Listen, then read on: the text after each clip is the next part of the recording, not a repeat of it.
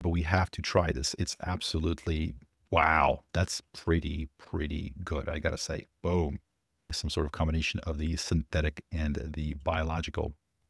And it's absolutely nuts.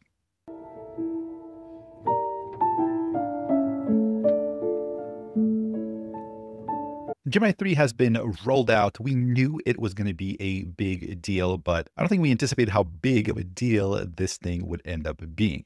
It seems like the entire world is a vibe coding with Gemini 3, and people are blown away. It's like Gemini 3 is this black hole just sucking in everyone's attention. If you're wondering why I'm showing you this thing, this was coded up by, you guessed it, Gemini 3. Or what about if we take Doom, but instead of a space marine, we get some sort of an HR floor inspector corporate thing? Can it do that? Yes, it can. Turnips are hostile, apparently beautiful 3D scenes just from a static image. Yes, it can do that and it can do it uh, very well. 3D Lego editor, yes. Minecraft Hippo Zoo, yes.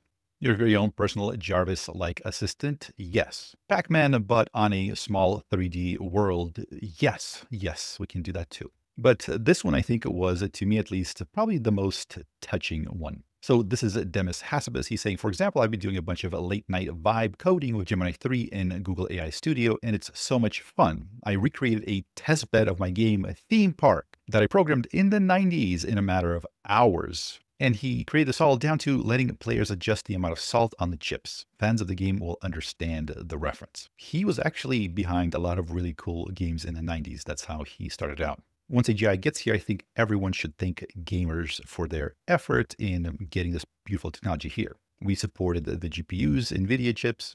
Some of our greatest AI minds uh, started out developing games. So you're welcome, world. So let's take a look at some of the things that people have been building with Gemini 3 because it's been absolutely insane. It gave me some new ideas for benchmarks and tests. Can you guess what this is? So it's a 3D objects flowing in a space. What are we looking at right now? Can you tell? So the person does not explain it anywhere, but I believe this is, so Nano GPT is that thing that Andrej Karpathy created. I think it's open source. It's on GitHub and it's sort of a very small, large language model that you're able to train yourself at home in a few hours on consumer grade hardware. Is it going to be as smart as Gemini 3? Probably not but it will answer your prompts. It will answer your questions, sometimes not correctly, but it'll take a stab at it. And uh, this is, I'm guessing, some sort of 3D representation of it. So we have the embed, we have the various blocks representing the different uh, layers of the model. I would have loved to see the prompt because I'm curious how deep it went. Is it actually using NanoGPT, kind of that technology, that entire open source code to create this, or is this just a graphical representation? Either way, phenomenal job. Somebody created, of course, the Rubik's Cube, but what they did is they said, make me a spinning Rubik's Cube in three.js with a dark background, add exquisite amounts of realism and detail. And I gotta say, as I'm looking at it, it looks very exquisitely realistic and detailed. And also looks like maybe it was used somewhere else by somebody else. So I stepped into a bit of internet drama here. I'll slowly back out. Here's Ethan Mollick. He's got a terrific take. He's saying, Hey, Gemini 3. So I need Doom, but more root vegetables. Also, no guns or demons or, or Mars. More of a focus on different flooring styles, but otherwise exactly the same as Doom. Gemini comes up with here's a floor, first person, lino observation, and ornamental review, pretty good. Or is it lino, like linoleum? I, am not sure, but either way, absolutely terrific. And uh, notice critical containment failure warning. Turnips are hostile.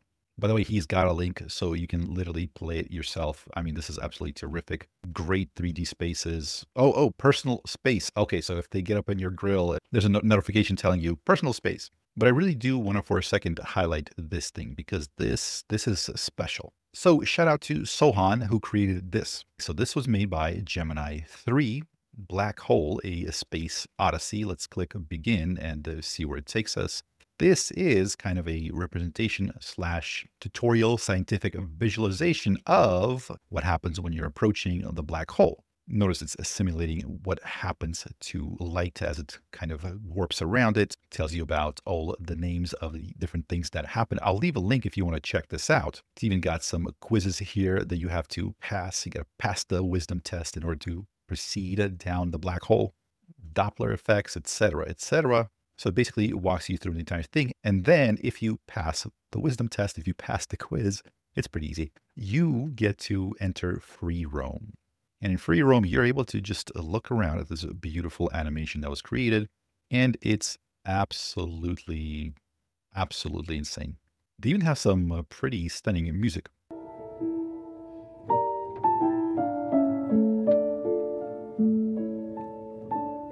All right, next up we have a vibe coded game, kind of like Pac-Man, but on a small 3D planet. And it looks like it even has uh, some uh, Sonic-like rings, uh, so you're running around the planet, getting chased by stuff. This is looking absolutely incredible.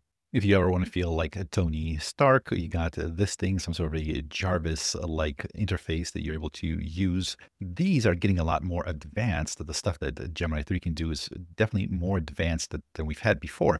I've tried creating this with some of the previous models, and they did have a hard time with it. Here's one that genuinely surprised me. So this is a mini city voxel destruction game. The reason it surprised me is because this is the first time I think I saw it creating something with a destructible environment. So as the little fireballs or missiles, by the way, there's there's there's like a sound to it. There's uh, sound effects, not great ones, but as you're bombarding the buildings, notice the environment. There's this destruction in the environment. Like there's chunks being uh, blown off of uh, the buildings. I mean, the frame rate drops quite precipitously when there's a lot of stuff blowing up. And I was I was really surprised to see it like let me play this part for you. So when you see the frame rates drop that's not uh, streaming that's not me streaming that's you know the game lagging. But man here's uh, that actual game. I mean that's absolutely beautiful. So you're able to shoot and see this destruction kind of in real time. The controls are really good. The stars everything else. I mean this is highly highly highly impressive i gotta say. Wow. I mean, I can, I think, safely say that nothing like this has been seen before. I just realized that you're able to switch through weapons. There's a number of different weapons. Oh my God. Wow. This, this is like a full blown game. Weapon number four, if you're wondering, is a singularity, a gravitational collapse event. I mean, I think you and I both know we have to try this, right? I, I understand we're doing a video about Gemini 3, but we have to try this. It's absolutely wow. That's pretty, pretty good, I gotta say. Boom. And number five is a tactical nuke. Interestingly enough, it's after the singularity, but I guess whatever goes. Wow, that actually, that took out a lot of stuff.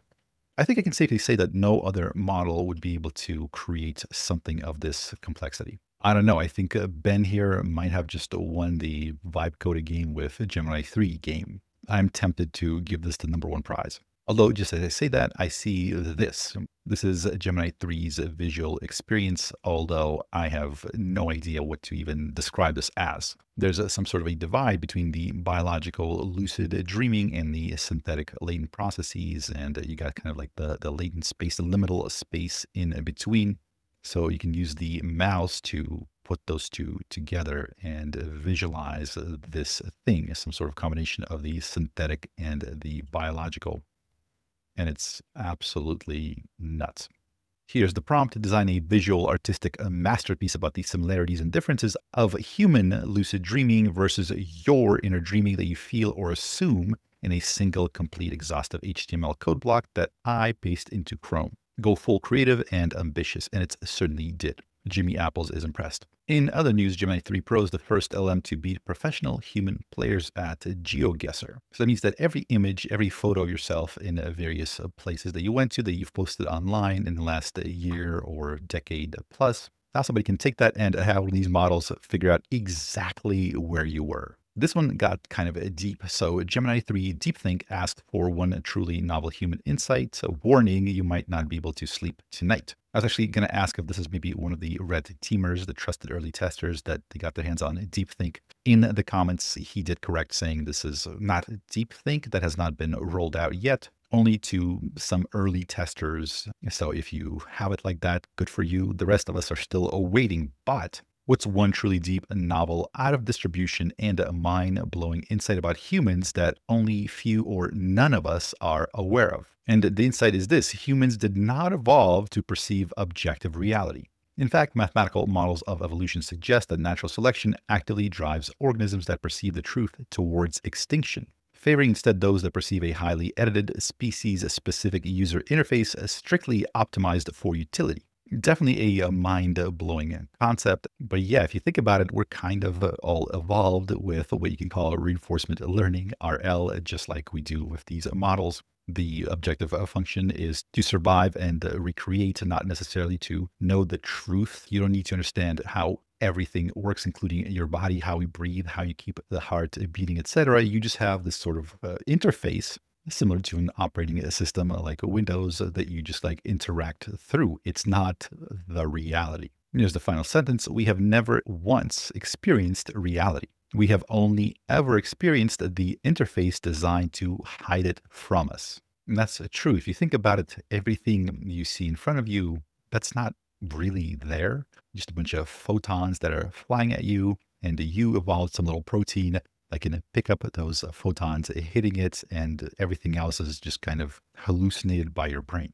Next up from Allie K. Miller, she's saying, Gemini 3, are you freaking kidding me? She vibe coded a sign language reader, Sign Lingo Live, where it uses your webcam. You throw up your signs and it sort of recognizes it and shows, wow, what the confidence level is. I mean, that's looking pretty good. Hey, really fast before you go, can you please uh, subscribe to my channel? if you haven't already done so. Maybe even hit the thumbs up uh, button if you've uh, liked the content. This channel gets a good number of views, but for some reason the subscriber count is lower than other channels in the space with similar views. Am I just like the person you're seeing on the side? You got to keep it on the DL.